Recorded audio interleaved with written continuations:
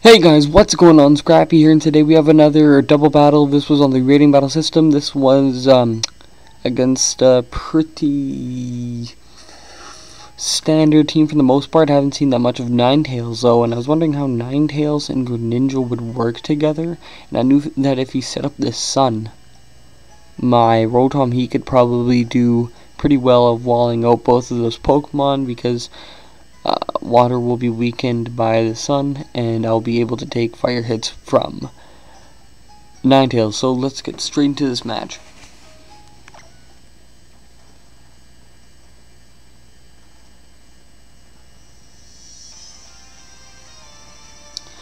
Alright, so I'm going with my regular lead with Scrafty and Trevenant, and um, actually excited for the June International that is starting in a few hours actually, so I'm gonna have lots of good battles from this. Anyways, I get my Intimidate off with my Scrafty on both of his physical attackers, which is really nice. So now I know I can take a Brave Bird. He's actually gonna protect first turn, so I actually don't get any um, fake out damage off on his Pokemon, but that's fine because that's just a free trick room for me. So, oh well. Now I got my trick room up without any damage. Now the Brave Bird's obviously going to go off. This one was actually targeted onto um, onto Scrafty, taking me below half, as we see. And um, I get the Shadow Claw off onto the um, onto the Talonflame. I get the Ice Punch off onto the Garchomp. Without that extra chip damage, I'm not going to be able to take it out. Now there's a Rough Skin, and he goes for the Earthquake which is going to deal um, some damage to my Trevenant, but is actually going to take my Scrafty out. So I'm already down one Pokemon, three, four, and this is not looking good. I, I, I see the Life Orb, so I know next turn he's going down, so I can bring my Mawile here, and all I'm going to do is just Rock Slide, um, Rock Slide, and hopefully take out that Talonflame. So I'm going to Mega Evolve. It. There's no reason really not to. And there's actually protect from Talonflame, which is really unfortunate. So now what they're doing is they're stalling out my Trick Room, which is kind of unfortunate, but it's the good play for my opponent. I go for the Will-O-Wisp onto Garchomp because I'm thinking that there's actually going to be switch, but he goes for the double protect and he gets it, unfortunately, and Talonflame's going to Brave Bird my Trevenant that is going to bring me down to the red, but I'm going to eat my Sitrus.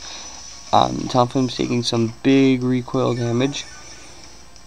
Enough to where um, if the rock slide lands, it's obviously going to be a KO. So the rock slide lands onto the Talonflame, taking it out, but since the Garchomp got the second protect, he's going to survive the next turn.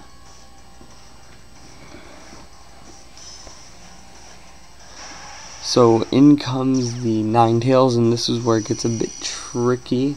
I am very scared of that Ninetales because, as you see, it's going to destroy both my Pokemon. Actually, it's going to stall the Trick Room even further. I get the Rock Slide um, off, which is going to take out the Garchomp this turn. So now my opponent only has two Pokemon left, and I have three. So if we do simple math, I should be in the better position, but the game is not over yet. So the Trick Room actually ends, and since the sun is up, my, uh, my harvest will activate every turn that the sun is up. So that's really good. In comes Greninja, and I'm scared of this thing. It could have Dark Pulse. It could have Ice Beam. So I'm going to bring my Rotom Heat now. I'm going to protect my Trevenant just so I can survive the next turn hopefully. There's actually a mat block and I'm thinking that the nasty plot is going to follow. But the Ninetales actually just goes for the Heat Wave. Since I protected with my Trevenant, we see that that Heat Wave does absolutely nothing to my Rotom. I harvest another berry because of the sunny day. I hope for the double protect, protect, but I don't get it. The Ice Beam goes off onto Trevenant, obviously.